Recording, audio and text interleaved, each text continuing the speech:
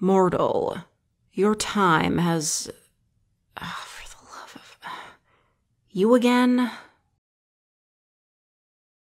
It's been less than a week. How could you possibly die again that fast?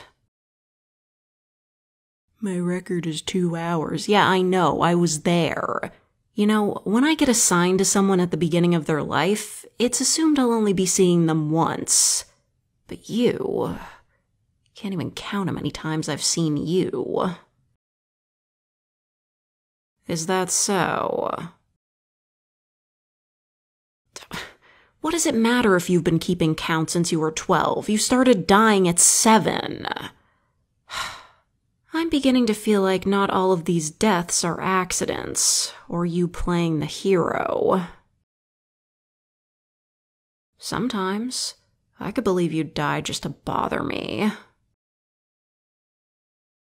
Fine, fine, that's a bit uncharitable. I know dying isn't fun, but repeat customers aren't exactly good for Reaper morale.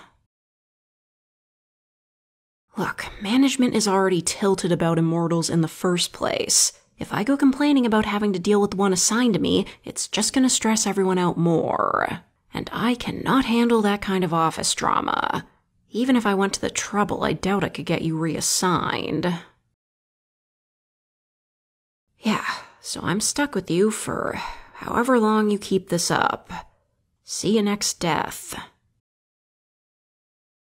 Huh? Well, what's the point? I can't bring you across the threshold. I can't do anything. In approximately five minutes, you're going to spring back to life good as new. Why do I need to be here for that? I'm better at keeping people company on the way to the afterlife. Fine. Break time then.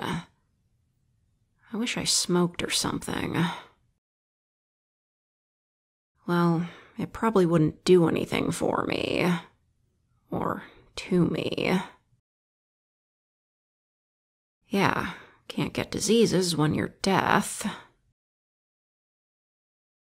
Mm, I can't really feel what makes it addictive, so I'd probably just have a not very fun time and smell like tobacco after. Don't you start either. Immortality doesn't fix cancer, so you'd be stuck in a pretty bad loop if you got it.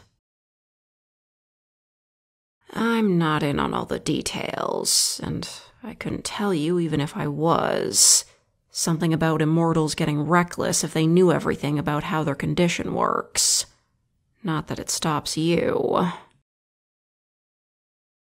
No, you misunderstand. If we knew how immortals happen and exactly how they work, then we'd be able to stop you guys from being immortal. Probably. The information we have is just the data collected from various immortal deaths. Easy to have a better idea of what the deal is when you've got all of humanity as a sample size. But that still doesn't teach us everything. No, immortals haven't always existed. That's why management is so upset about them. Messes up the system. I'm not gonna tell you how long they've been around. Can't. And even if I could, I wouldn't. I feel like just telling you what I already have is going to be a headache later.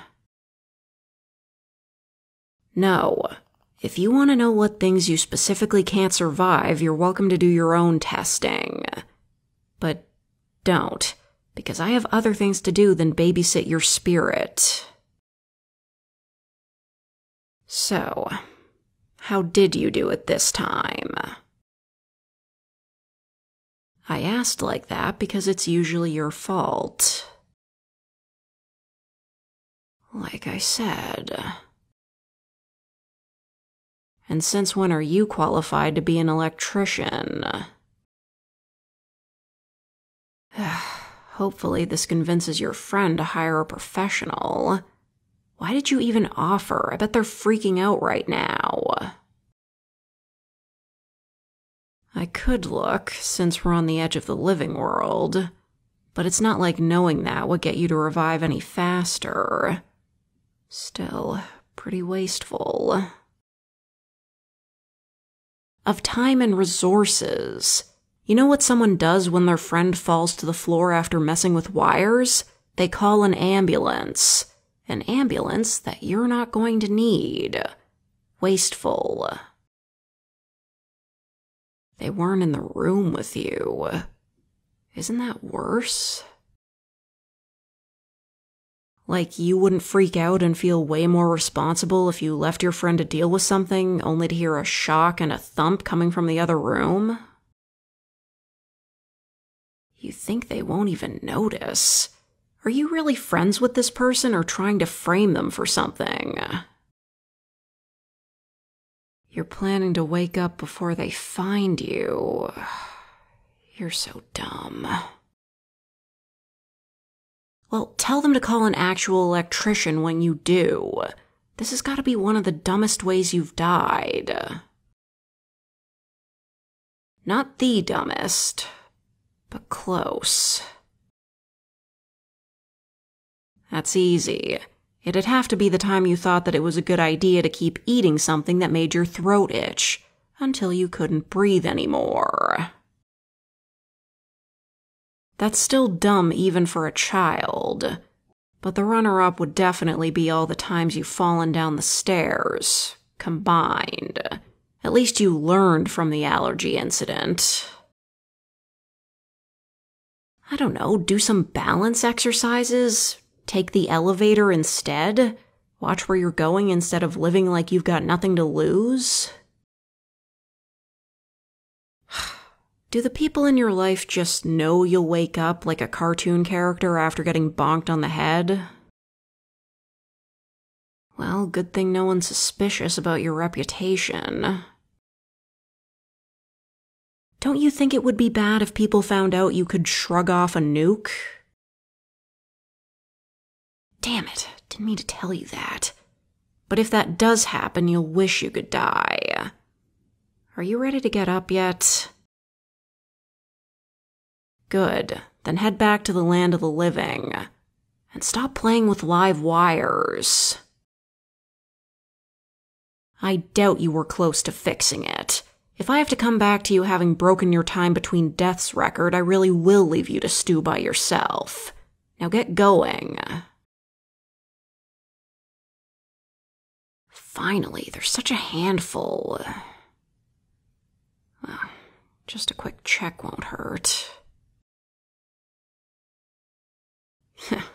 Idiot.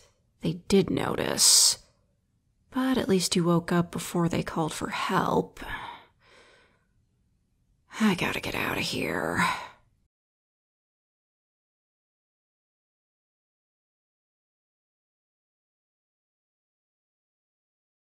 Fortunately, they stopped doing noisy electrical work outside just in time for me to record this audio, and you guys didn't have to listen to 10 minutes of me giving my opinion on Uber Eats instead.